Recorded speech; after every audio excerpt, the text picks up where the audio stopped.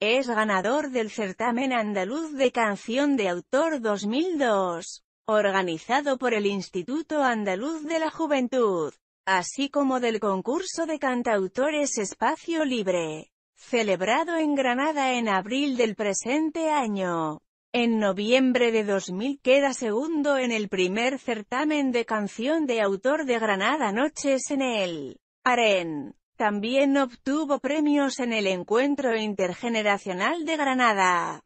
2001. Mancurrock, Málaga. 2001. Y Nómadas, Málaga. 2002. En abril de 2002 participó activamente en el homenaje que la ciudad de Granada brindó a Carlos Cano, compartiendo escenario con Tonchu y Luis Pastor. 2002. Aquel año fue seleccionado para el circuito de canción de autor nacional organizado por el Injuve, y alcanzó las semifinales de las prestigiosas Cantigas de Mayo. Ceutí, Murcia a las cuales volvería al año siguiente para conseguir el tercer premio como acompañante del sevillano Joaquín Calderón, compositor de la banda sonora de un cortometraje escrito por Francis Guerrero, profesor de la Facultad de Psicología de la UMA.